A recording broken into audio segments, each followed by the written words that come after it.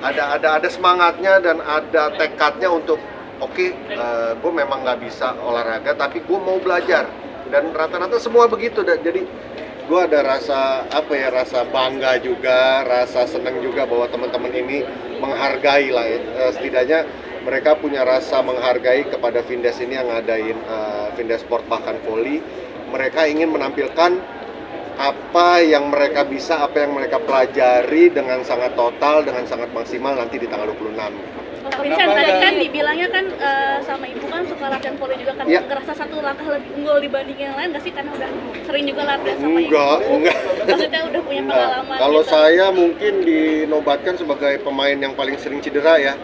Saya main berapa kali cedera, terus cedera, terus mukul salah, kecengklak, lutut saya salah ngelangkah gitulah. Tapi kalau yang lain ini hebat-hebat, ini andalan saya sebenarnya di tim ini Desta Mas Surya. Hmm. bisa cedera gitu gimana mas Bisa cedera. Eh, ngobrol sama fisioterapi saya, cedera. apa- Salah. ada insidennya seperti apa Ya aja karena baru ya. Karena saya main volley juga kan bukan yang intens ya, cuman belajar dulu terus main jadi nggak tahu teknik cara mukul bagaimana ya pasti ntar kena jari lah, kena apa gitu ya, newbie namanya juga. Tapi seberapa yakin ya bisa menang lawan? Ah, yakin. kalau yakin gue nggak tahu tapi namanya pertandingan gue belajar banyak dari Desta waktu itu di tiba-tiba tenis ternyata semua tuh eh, apa ya apa yang ada di lapangan bisa sangat sangat berbeda dengan apa yang udah kita punya apa yang udah kita pelajari gitu. Jadi mental itu ternyata kalau dalam sebuah pertandingan eh, olahraga jadi mungkin 80% faktornya gitu. Sementara kalau Andre Taulani merasa sebagai kapten diprediksi ini punya mental yang mental mental ya punya mental yang bagus lah buat buat tampil di orang banyak menurut dia kalau aktor tuh mentalnya kan mereka harus tampil sempurna mereka harus ini dan kita kan nating tulus Oke lah gitu. mungkin itu masuk di akal Mas ini mungkin menjadi proyek eh, apa namanya keberhasilanmu nggak sih bersama Mas Vincent? Eh, Vincent Mas sendiri. Kadesa. Eh, maksudnya proyek keberhasilan eh, proyek eh, persahabatan 30 eh, yang, tahun. eh, dan selama 30 tahun Berteman. membuahkan hasil dengan adanya beberapa proyek seperti ini.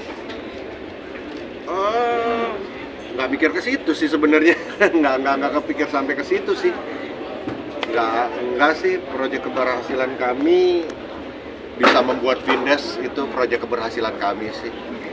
Mas Vincent Sel- mungkin eh, dari semua dari semua 30 tahun. spirit yang di, dijabarkan tadi mungkin kalau dari sisi bisnisnya seperti apa? Nah, itu itu yang selalu luput dari radar Vincent Desta ya. Kami berdua ini memang anak-anak apa kesenian tidak pernah tahu soal bisnis. Makanya kami kalau secara pribadi kami punya manajer.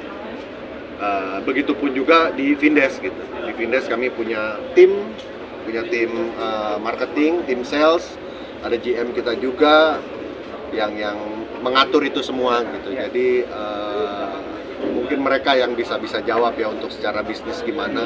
At least setidaknya kita bisa menutup biaya produksi aja sebenarnya udah alhamdulillah sih. Artinya artinya mencari profit itu bukan prioritas ya? Oh, kalau kalau di kepala kami berdua tidak ada sama sekali ya. Oke. Profit itu menjadi sebuah bonus mungkin ya ketika terakhirnya kita hah udah selesai gitu acara ah sukses semua lancar itu udah menurut kami adalah kebahagiaan kami goals kami tapi ketika orang sales datang profit kita segini gini gini. Ah itu jadi sebuah bonus lagi ya Bu- bukan menjadi target kami.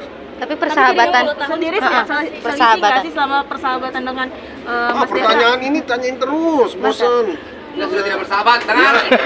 kami berantem terus. Goblok deh